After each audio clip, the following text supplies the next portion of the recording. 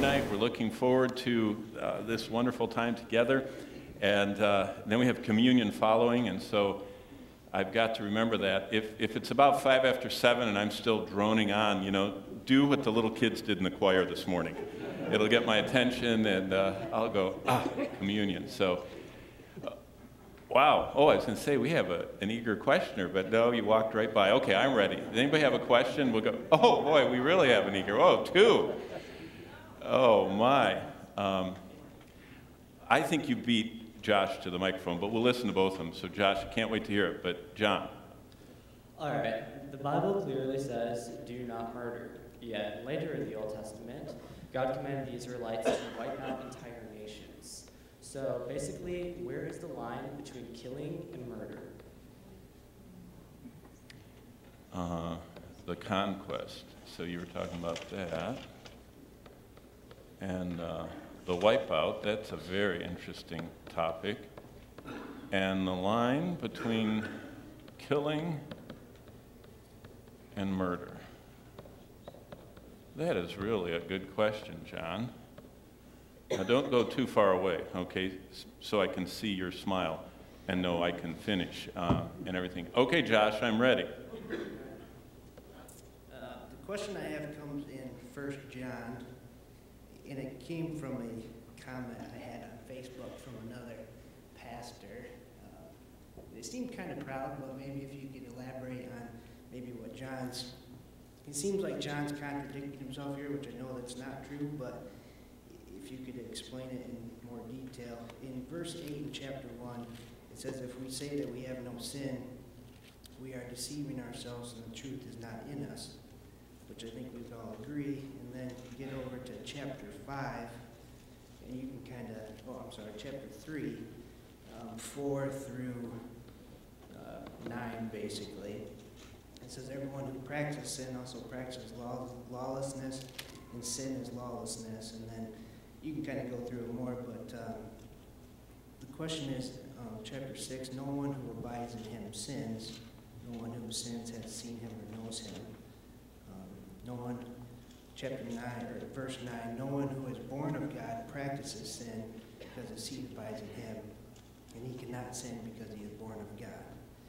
And I guess his, his point was, as believers, we should no longer sin anymore, and it seems like that's uh, the sanctification process for us. I mean, we try to strive for that, but I, I know myself, I seem to fail uh, all the time. So is it the word practicing is in there three or four times? And is it practicing without repenting, or is it um, just the practice in itself, I guess?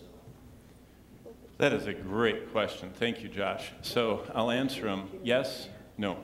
There we go. Now, see, someone asked if I could do that. You know, answer with one word. So, uh, Dory, okay. wait a minute. You have to you can share it, but you got to wait. I, I, haven't even got these two done. But Dory, the I'm ready. All right, ready? Yeah. Okay, this is from 1 Kings chapter 9, and it's about where Solomon and Hiram exchanged gifts.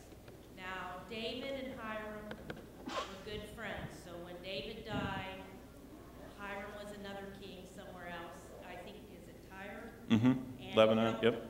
He, liked, he immediately downriver mm-hmm. and the skilled Mm-hmm. And at the end of 20 years, so I guess did they build the temple and a palace and a White House and stuff like that. Mm-hmm. So then,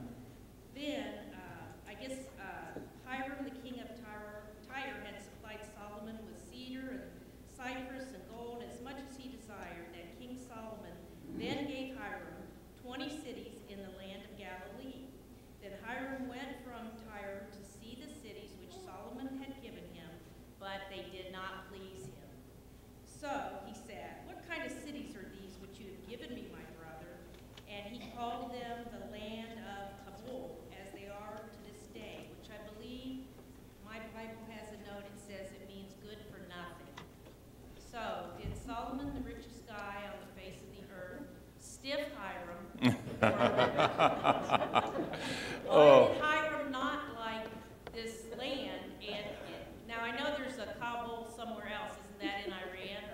Afghanistan, yeah. yeah.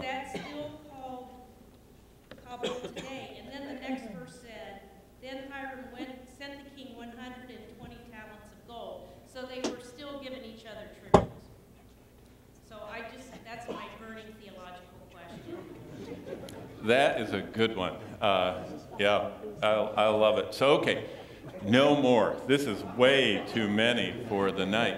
Um, let's just let's do a little theology of murder, uh, and then talk about um, killing. Uh, you know, and the uh, uh, you know the sixth commandment and all of that about not murdering, and um, actually the conquest is uh, even John actually asks multiple questions here. Uh, this is about war. Um, the bottom line is killing and murder, and murder, and even um, tied with this is the whole idea of capital punishment. I mean, do you right a wrong with what looks like another wrong by killing someone? Um, so, but let's let's. This will be a fun. Uh, this this is like sitting at, at dinner reading through the Bible. Let's start in Genesis here uh, and look up Genesis, Cain and Abel, uh, Genesis 4 will get us to the first murder and, and see how God defines that. So, Genesis 4, and it says in Genesis 4, um, let's see, uh, verse 6, the Lord said to Cain, Why are you so angry? Uh, verse 7, if you do well, won't you be accepted? Now look at verse 8. This is the first murder in the Bible. Now Cain talked with Abel, his brother. And it came to pass when they were in the field, Cain rose up against Abel, his brother, and killed him. This is really interesting. And I know that John didn't ask us about this, but Cain is big. He's the only person mentioned in the book of 1 John. That's significant. I mean, we just heard from 1 John. He's the only person, human, talked about in 1 John. And uh, Cain is, is an important person because it says in uh, John 8, Jesus said that Satan, you're of your father the devil, the, the lust of your father you will do. He was a murderer from the beginning. Satan. So Satan, that's an 8 by the way, Satan uh, incited Abe, Cain to kill his brother Abel. And that becomes our first murder in the Bible. And um, it's interesting that they let him live. Did you notice that? Nothing happened. Cain lived. He planted cities and everything. But if you keep turning to chapter 9, then God lays down the law, literally. And what he says in verse 5, uh, by the way, a lot of things happen in chapter 9. And this is just because we're going by, and that's one of the benefits of. Uh, reading um, to answer questions instead of just citing things to actually look at the passage. This is uh, what we call the Noahic covenant or Noachian covenant. It's the covenant God made with Noah. And uh, what the Lord says at 5 Surely for your lifeblood I will demand a reckoning. From the hand of every beast I will require it. From the hand of man, from the hand of every man's brother I will require the life of the man. Uh, and then it says, verse 6 Whoever sheds man's blood, so we're still talking about murder here. Uh, whoever sheds man's blood, 9, 6, by man his blood shall be shed. For in the image of God he made man. So God says there's, there's something very important about human life, and to end it uh, is is such a travesty that for murder, shedding man's blood, that's the institution of capital punishment by God before Moses. So some people, you know, try and tie like the homosexual uh, legislation. They say it's Jewish or it's Old Testament or something. But God has this covenant with humanity, and it's the institution of basically of civilization uh, having rules. By the way, also, if you notice what happens in verse 3 is humans were vegetarians before, most, it appears, before the flood. Adam and Eve ate everything, but it doesn't ever talk about them eating and, and you know, having steaks and, and stuff like that. But here, it, it's interesting. After the flood, humans didn't have to be vegetarian. And it says, uh, verse 3 every moving thing that lives shall be food for you. and I'll give you all things, even as the green herbs. As you've been eating plants, now you're going to get to uh, be uh, omnivores and uh, eat um, no longer just a vegetarian diet. So that's murder starts right after the fall. God institutes in Genesis 9 capital punishment. But now we haven't really defined um, this. What's the difference between kill, killing someone, like in warfare, and murder? And uh, so what we do here, and by the way, Phil taught me this neato thing. Look at that. I learned how to interleave pages. Uh, he's amazing. Let's go to the sixth commandment in Exodus 20. And I want you, in fact, if you have your Bible, and if you like to mark in your Bible, this question that John brought up is a very common one, especially among college students. You know, they're always interested in capital punishment because it seems so inhumane, and war, and killing in war, and all that stuff. And so, um, let's see. Here we go. Honor your father and mother. Uh, verse 13. You shall not murder. So we're in Exodus. I'm sorry, I don't know if I said Exodus 20, Ten Commandments, and it's uh, verse 13. You shall not murder. So God says, no murder. And that's interesting. It's just a statement, doesn't define it. But if, if you keep going down to uh, chapter 21, I actually have from verse 13, you know, I, I, in my Bible, I circle verse 13 and I have a line going like this across to 2112. That's called daisy chaining. You know, it's a fun way to study the Bible. You find uh, connected things, and then in your mind, you just always connect them. But, but see in 2112, it says, He who strikes a man so that he dies shall surely be put to death. However, if he did not lie in wait, but God, God delivered him into his hand, then I will appoint for you a place where you may flee. Whoa. So, so God said, You can kill someone and flee it? Wow.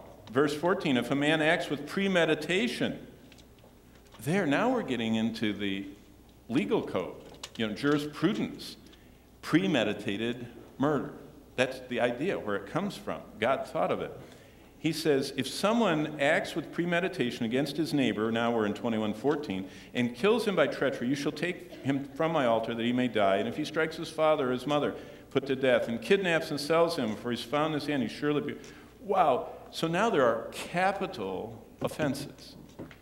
But the, the key one is murder is defined right here. So now we find out what murder is. Murder is not just, you know, you're driving your car and, and someone, you know, falls in the road in front of you, you run over them. You killed them, but you didn't murder them, the Bible's saying. And so, but it doesn't stop there. If you keep going, look at 22 chapter 22. Now you can do another, I mean, if you like doing stuff like that, you can go to 22 2. Now we've got something else people ask about. So there, there is what we call today manslaughter. You know, that there, yeah, you did kill him, but you didn't want to, try to, or you didn't intend and premeditate it. You, you did kill them, but you didn't murder them. So, no murder, the sixth commandment differentiating between murder and manslaughter and accidental or even uh, you got angry in the moment and, uh, and hit them too hard or whatever. But now, look what 22.2 says. I'll start in one. If a man steals an ox or a sheep and slaughters or sells it, restore five oxen for an ox, four sheep for a sheep. Now there's the interesting thing. We wouldn't have, how many million do we have in prison in America? One million, two million, three million? people. I think we're at 3 million, our prison population. And I think it costs about $50,000 a year to keep them in jail. And what are they in jail for? You know, there's some really mass murders, but there's a lot of other things that, you know, thieves and three strikes, you're out, people and everything. You know, it's interesting, in the Mosaic Law, the, what they did is the people that need to be executed were right away. And the people that didn't weren't. And they had all this restitution stuff. And, and you worked it off, and you lived in a community, and everybody knew you, and you stole, and you paid it back, and so you're back. And it's interesting. They didn't have three million people in jail, which is just amazing where we've come to. But look at this. If the thief is found breaking in and he is struck so that he dies, now there's the question people ask all the time. If I have a gun in my nightstand and a prowler comes into my house and I shoot him and he dies, I always remember when I was growing up, I don't know what the laws are in Michigan, but Judge Coleman, way back in the 70s or 60s, uh, we'd always see him at Bill Knapp's, and, and he'd always tell us, and this was the state of law in the 60s and 70s. He said, if you shoot a prowler, make sure you drag them so they're inside the house. Uh, he used to tell people Bill Knapp's that. Now Bill Knapp's is gone, and so is he probably. But uh, the idea is there is a precedence in the Bible. Uh, if a thief, if, if someone is, is in your home and, and you strike him so he dies, look at what verse 2 says. God said this there is no guilt for his bloodshed. But John just said, wait, wait a minute. You know, our original question. I thought God says no murder. Isn't killing murder? Well, not always is killing murder. See, the Bible very clearly defines, and what we would call this is what? Self defense. Um, and again, you know, it doesn't mean that you take pot shots at people out your window that you don't like, you know? Say they're threatening me or they're, you know, whatever. But you see, it's very clearly defined here. So this, this is, and, and there are other places in the Bible that it talks about this, and there's the whole city of refuge. Uh, because, you know, you, you even do this um, self defense killing, and people get upset at you. And, and so you could flee somewhere where the relatives were coming after you, and you could live there and that's all in Joshua, the cities of refuge and all that. Um, but back, back here, it's clear murder in 2112 when you and by the way it, it in exodus 2112 uh, exodus even says if if you hit them with a stone it's murder but if you hit them with a stick it's not see i mean it's it's if you're getting in a fight and you're fighting and hitting each other and you have a stick and it happens to kill someone, you weren't really probably trying to kill them.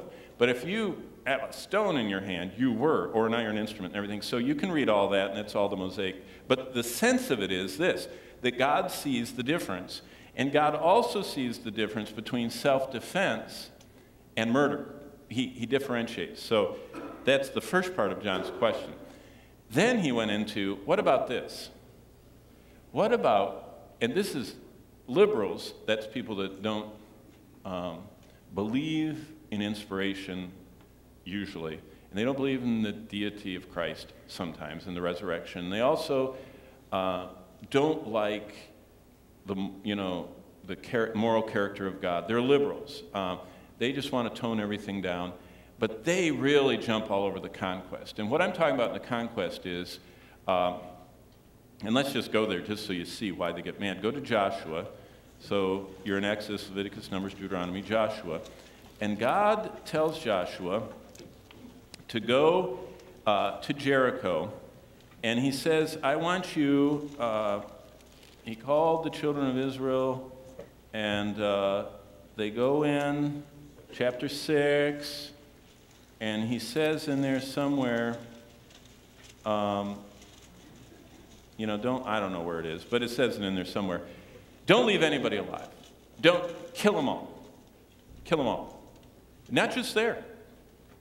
They were supposed to, in the conquest, they were supposed to kill in certain specified cities every man, woman, child. In fact, it's not just there, it's, it's not just in Joshua. Also, Amalek uh, with King Saul that's where he got in trouble in 1 Samuel 15.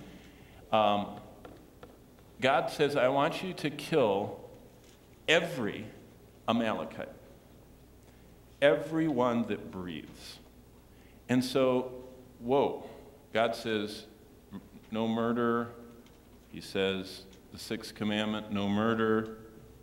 He says, in self defense, but I think the Jericho people were defending themselves. The army came to them. They, you know, so the Israelites weren't defending themselves, they were doing something else. And so, what, what is going on in the conquest? And that takes us to uh, warfare.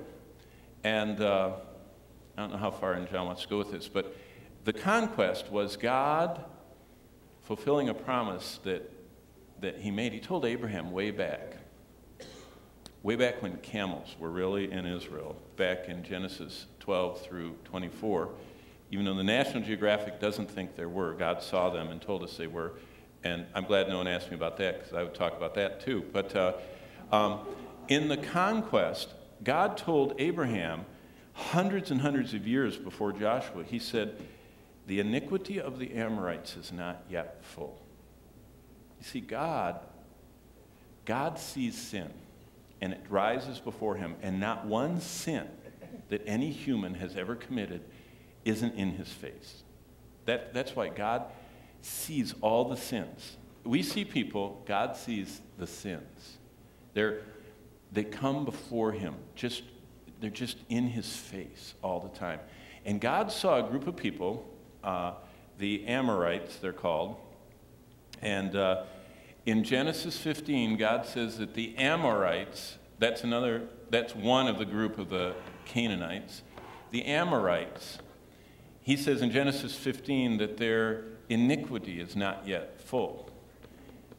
Um, it was growing, it was ascending. It's kind of like in Genesis 6, God said that every intention of man's heart was only evil continually, and I'm not going to tolerate it much longer. They just have 100 years, and I'm going to exterminate them. God, God's response to sin is extermination. And he exterminated every human on earth except for eight I'm glad Russell Crowe made it, right? He was in the ark. I'm just teasing, you know. There, isn't it amazing all these Bible movies that are coming out these days? But only eight human beings made it in the ark. Everyone else died. And if you calculate the size of family and the length of life, there's probably a billion plus people on earth. And God killed 999,999,992 of them. And he left eight. So we already have the, the, God does not call it murder when God exterminates sinners. He did it in the ark and the flood. He does it in, in Genesis uh, when, when he destroys Sodom and Gomorrah in Genesis 14 and exterminates Sodom, Gomorrah, and the cities of the plain and rains down fire and brimstone on them. So God exterminates sinners what was the problem with the Amorites? Well, what's interesting is, um, and it's only coming out now with our new cultural things, what the archaeologists found in the Canaanite Amorite um, culture is um, vile. They were vile people, morally. In fact, most Canaanites, one thing the archaeologists found, when they would build a city and they would lay the the first stone of some special building, they always find a clay jar in under the foundation stone, you know, the first stone that was laid. They find a clay jar under there that had a an infant buried alive. That was what Canaanites did. They dedicated buildings by burying an infant in a jar under the they were so inhumane they were murderous of children in fact Carthage, Carthage, uh, the Phoenicians uh, that were that, that, that are people that are coastal people that are related to the uh, same group of people. When they excavated Carthage, they found 60,000 babies in jars in these amazing infant killing and, and a lot of other horrible stuff. They were into witchcraft and everything else. And God says, I'm sending my chosen people of promise into the land of Canaan, and I don't want those baby killing, pagan, murderous, grossly immoral, idol worshiping people in the land. And God said, just like with the ark and just like with Sodom and Gomorrah, uh, I want you to um, totally wipe out the Canaanites. I want you to exterminate them. And he added to that list afterward the Amalekites. Um, and they were to be all exterminated. And you say, boy, how, how can that be? It's, it's just a little picture from time to time of what all of us deserve. See, the wages of sin is death. And if there's no grace and no patience or mercy from God, he zaps them. God zaps people. And we're so thankful that God is forbearing, that He is merciful, that He lets sinners shake their fists at Him for their whole lifetime, most of them, and mock Him. And He doesn't zap them. God zapped the whole world. God zapped several cities. God zapped an entire uh, culture of the Canaanites. God wiped out a whole clan, uh, the Amalekites, and you know, and there are many others. But back to John Greaves' question, um, this is a whole different topic. This has to do, this wiping out of people has to do with the holiness of God and giving us little foretastes of hell. God hates sin immensely. It rises before him. It, uh, in fact, murder, particularly, the Lord says that anytime someone's murdered, their blood cries. That's what happens with Abel. It cries from the ground to him. So, murder, capital punishment, and homicide and manslaughter, that's one thing. This is a whole different, this is whole theology. This is why God kills half of all the people in the tribulation, because they will not repent. Revelation 9 of their murders, of their drugs, of their immorality. And God says, enough is enough. Now he's preaching the gospel. He's sending the 144,000. He has the angel preaching. He has the two witnesses. But God is hates sin. Now, one more point here. This is really interesting. That that is what does God say about war? Is war always wrong? Is war ever and, and what's interesting about that, if we go just for a minute, let's, let's do, let's go to the New Testament. Um, let me see. Luke, Luke, Luke, Luke, Luke 3. I want to show you something for just a second because let's just talk about war for a second. War, soldiers, um, you know, and, and uh, we're Americans, okay? Uh, what what about war? And can you be a soldier carrying around a, an instrument that kills humans? Is that wrong? And it's so interesting in, in chapter 3 of Luke, and, and we could uh, look at other passages, a couple others maybe, but look at 312. Um, then a tax collector also came up to be baptized and said to him, Teacher, what shall we do? And he says, Don't collect any more taxes than is appointed for you. This is John the Baptist, the forerunner of Christ. It's in the Bible, and it, there's no comment that he's mistaken. So, paying taxes, and, and uh, I got an email about this. Someone said, uh, uh, Is it right for me to protest abortion by withholding part of my taxes because a certain percent of everybody's taxes goes into abortion? Is that biblical? And if they would have asked that tonight, I said, No, it's not. Because they were doing heinous things in the Roman Empire. And, and they were also occupied. They were God's people, they were under occupation, they were being oppressed, and everything else. And God says, pay your taxes. That's an interesting. But that isn't what we're talking about. Look, no one asked me that. Look at verse 14. Likewise, a soldier.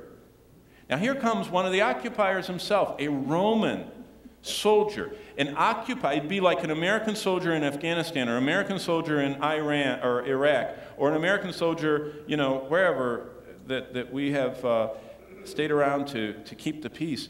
And a soldier asked him, saying, And what shall we do? This would be a perfect moment for a prophet of God to say, Quit. You should not be a soldier. It's morally wrong. You, career killer, bad, right? Sixth command, right? No. Look what he says. He doesn't say, get saved and get a new profession. He says, uh, don't intimidate anyone, don't accuse them falsely, and be content with your wages. And, and Soldiers are talked about a lot. Keep going from Luke. Luke has a sequel, you know, the book of Acts. Go over to Acts chapter 10. It's, it's one seamless uh, author's inspired writings. And, and look at uh, chapter 10 of Acts.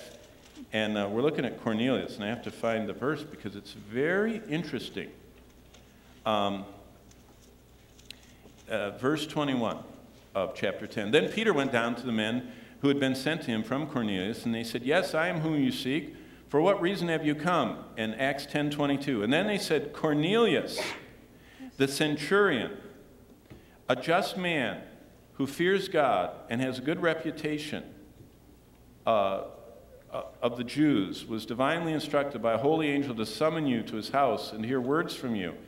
And on and on it goes. And here goes the whole, you know, Cornelius account. And, and even when Peter recounts this, do you understand what Cornelius was? He was a career soldier. He was a centurion. That means he moved from home in Italy to be an occupying supervisor of 100 troops. He was a career soldier. And, and look how the Bible describes him. And there's no, the Lord affirms this because when, when he talks about Cornelius, Peter, when he gives this testimony, he says in verse 35 In every nation, whoever fears him and works righteousness is accepted by him. He's talking about Cornelius. Peter doesn't say that Cornelius uh, was an unjust man, verse 22, and, and he didn't fear God. He was a professional killer. It's interesting that God never disparages soldiers. And, and he, and in fact, if, if you talk about a long list, Hebrews 11, Hall of Fame, has many career soldiers in it. For time will fail me to tell you of Gideon and Barak and Jephthah and Samson. They're all killers in the sense of killing humans. But they were soldiers. Now, just for a second, um, look at Matthew because I, I remember I, this is such a common question among college kids. They go, what about war period? I mean, isn't Jesus a pacifist? That's a good question, pacifist. Uh, chapter 5 of Matthew, um, let's see, where is it? Um, let's see. 5, let's see, where he says be at peace. Oh, well, you guys can read it. You know what I mean. Uh, oh, here we go. It's 521. You've heard it says, Don't murder. Whoever murders will be in danger of the judgment. I save you. Whoever is angry with his brother. It's 521 and 22. So Jesus said, Jesus reaffirmed the Old Testament. Jesus said, uh, he says, he says, no murder. So murder is bad. Um, Jesus says, don't murder. So what they do from that is they say Jesus was a pacifist. And pacifists say, no war. So that's where we get the whole no war segment of Christianity. The people that won't bear arms at all. They're pacifists. And they say Jesus was a pacifist because Jesus said in Matthew 5, no murder. Okay, so with that line of thought, keep going to Romans 13 because the Spirit of God there's only one God. There are not three. Jesus isn't one, and Father's different. There's one God in three persons. So anything the one does, the other two are total in agreement with. There's no disunity in the Trinity. And in chapter 13, the Holy Spirit inspires Paul to say um, that the soldier doesn't, uh, verse 4, Paul says in Romans 13 4, Romans 13 4, look what Paul, under the guidance of the Holy Spirit, who is one with Christ, Father, Son, and Spirit, the Trinity, and they don't ever disagree. Um, for he is God's minister to you for good. If you do evil, be afraid, for he does not bear the sword in vain. He is God's minister and avenger to execute wrath on him who practices evil. So the question is was Jesus a pacifist? No, he wasn't. Because Jesus is the one who met with Joshua. He was the commander of the Lord's host. Joshua fell on the ground and worshiped him. Jesus told Joshua, destroy Jericho, kill every person in it except Rahab and her family. Jesus is no pacifist.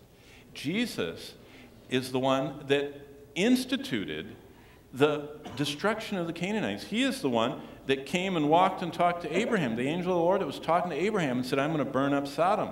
That's pre incarnate. That is a Christophany, we would call it, a pre incarnate visitation of Christ. Before he was incarnated, he came in a human form and talked to people, like, you know, Manoah, and like, you know, all of those times that the angel of the Lord, whenever they bow down and worship him, and the angel doesn't say, Don't worship me, it's not an angel, it's God. So Jesus is not a pacifist. He, because what he's saying there is he is against murder and you know, people getting angry and getting even and the vigilante thing. He is not saying war is wrong. He's the one that instituted war. In fact, if you read Proverbs, you know what it says? It says, before you go to war, make sure you sit down and plan it well. never says that in the Bible. Before you murder someone, plan it well. Before you commit adultery, make sure you really plan it well. But it says, before you go to war, if you're wise, make sure. Jesus even said that. He says, doesn't a man, before he goes to war, count his army to make sure he can win going against that person? The Lord is never, never a pacifist in the sense of what we've gotten to today. Uh, basically, today, well, basically today, we have Christian activists. And what that means is if the government says to go to war, at, you just go to war no matter what because the government told you. That's called an activist. So the first view about war is activism. The second view is pacifism. Pacifism. And that is no war, period. But there's a third one. And it, by the way, this is the majority of all evangelical scholars. It's called the just war.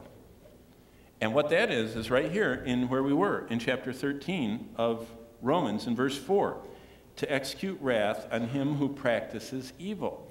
And what it, what it involves is, is defense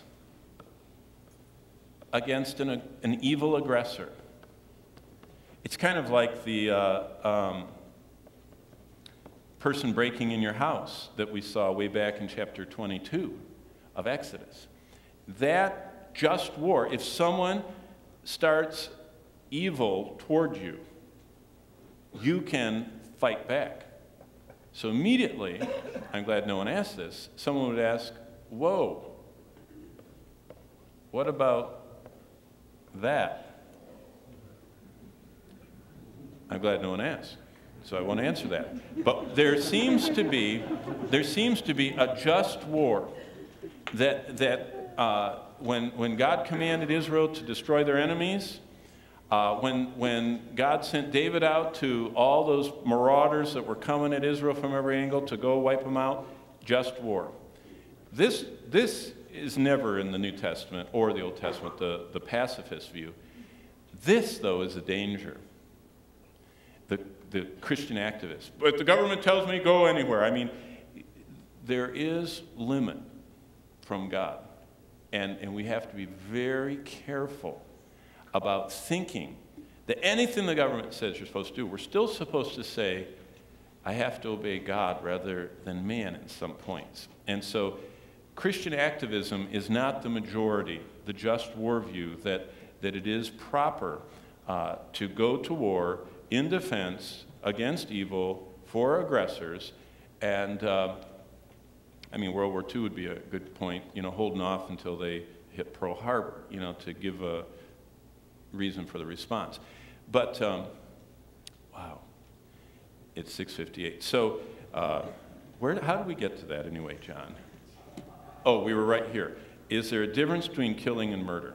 And uh, yes, there is. And uh, God does say killing is always, uh, murder is always wrong, but God does define murder, as we've seen in several ways, to be differentiated from the warfare that he instituted. And he did set up capital punishment. And Josh, you'll have to ask that again, and Dory, so will you. because it's time for communion. So, boy, that was fun. Um, so, what, what we need to do is just change uh, gears and think about why God wiped out everybody, and that was because He hates sin. And communion is a time when we remember that God so hated sin that there was no hope for us, and so He turned His wrath on Christ. That's what we're celebrating in communion tonight. That we are so guilty of our sin that we could never go into God's presence unless God's wrath was satisfied. And that was only by Him pouring out His wrath on Christ. So let's bow before the Lord. Men are going to prepare to uh, serve us the Lord's Supper. But let's just take a moment before the Lord and thank Him and ask for Him to prepare our hearts. Dear Father, You've told us that communion is a time where we are giving thanks. We are blessing your name because we deserve to be exterminated. We're all sinful, guilty in your sight, so far from your glory. But you made Jesus to become sin for us. And you treated him on the cross as if he had committed our sins. And for that, we thank you. And you've told us that as oft as we eat this bread, that we proclaim Christ. We proclaim that we're identifying with his sacrifice as our only hope. That we believe that he, by one sacrifice, as Hebrews 10 says, forever removed all of our sins, past, present, and future. And right now, tonight, at this communion, we give thanks to you that you, instead of exterminating us, you exterminated your Son in our place. He took our sins upon himself. May that fill our hearts with gratitude because you love us so much. Thank you for this bread that reminds us of Christ, who in his own body bore our sin on the cross. And bless us as we worship him and remember his sacrifice tonight. In the name of Jesus, we pray. Amen. As the men come and pass the bread to us, we're going to sing that great old hymn, uh, Jesus Paid It All. And just through these words, let's offer our thanks to him.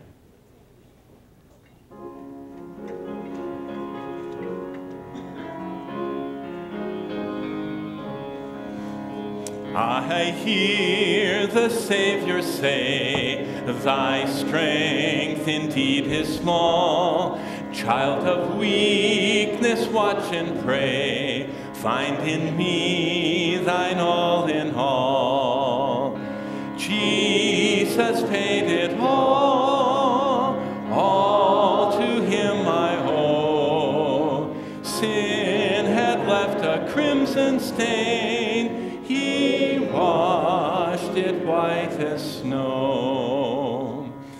Lord, now indeed I find thy power and thine alone can change the leper's spots and melt the heart of stone. Jesus paid it all,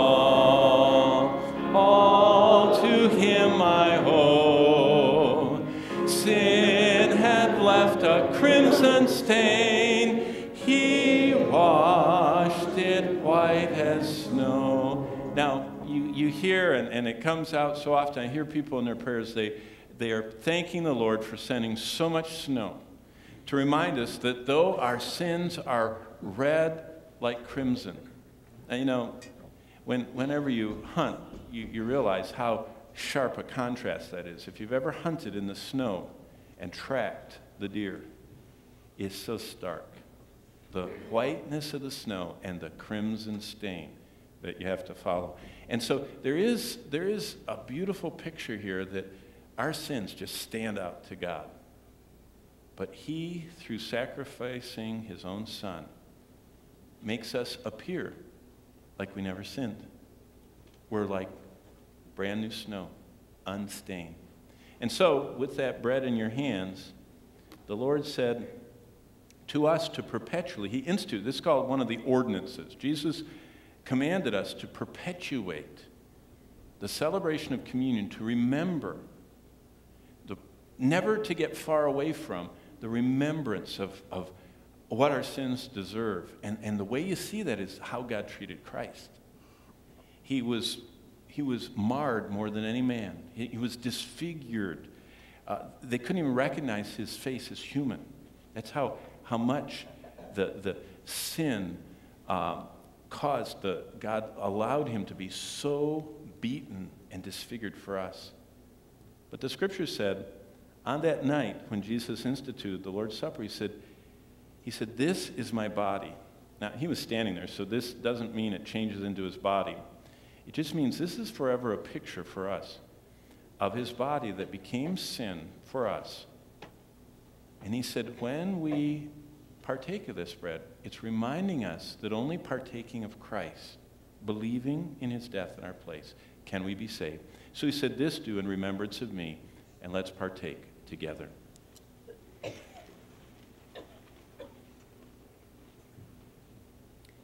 Dear Father, I thank you that we can pause twice a month and as a body, one in Christ, we can turn our entire attention and the focus of our hearts at offering thanks to you. And I pray that right now you would be receiving, like smoke rising from an altar, the adoration and the thanks from each one of us who know that our sins are forgiven. May we truly be from our spirits thanking and blessing your name and worshiping you for your sacrifice. You also told us that the cup was a cup of blessing. And that cup of blessing is a reminder that the blood of Jesus Christ, your Son, cleanses us from all sins. There is no condemnation we'll ever face because we're in you, O Christ, because you have forever paid the price and removed the record and taken the penalty on yourself. So thank you for this cup of blessing, this picture of your blood. And I pray that as we sing this hymn, remembering you, that this will be a communion where it registers with even more of your saints, that because you died for us, we should be living a life that honors and glorifies and pleases you. And may this communion be a renewal, a reminder, and a, a recommitment to living that kind of life wherever you take us as we live here on earth. We live for you, our Master. In the precious name of Jesus, we thank you. Amen. As the men pass the cups to us, we're going to sing Living for Jesus, a life that's true. And let's make that our offering to him tonight.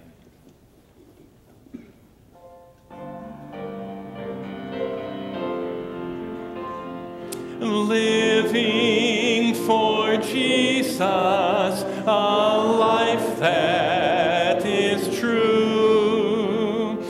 striving to please Him in all that I do, yielding allegiance, glad hearted and free. This is the pathway of blessing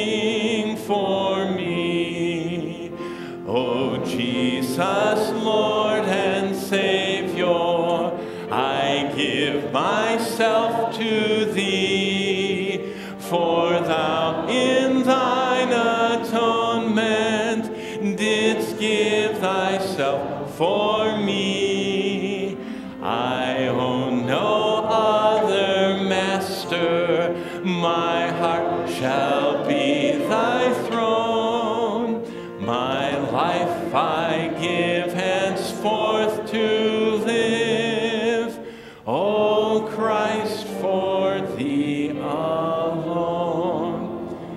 hymn is based on what Paul said, the, the redeeming price that Jesus paid, 1 Corinthians 6, 19 and 20, and that he died, that we should no longer be those who live for ourselves. We, we know that he purchased us with his own blood. And it's just like a slave that knew they had been bought.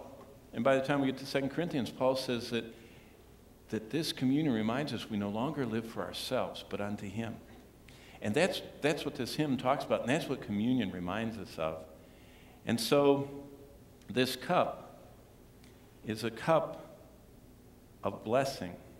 It reminds us we're blessed to be forgiven, but also reminds us that we're to bless the Lord with our gratitude now at communion, but with living our lives for His glory and for His sake alone. So Jesus said, This cup is a new covenant that's in my blood.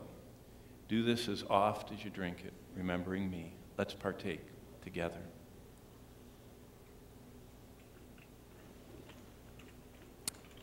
Now, just before I close in prayer, you can look up for a minute because there's also one other thing that we do at communion.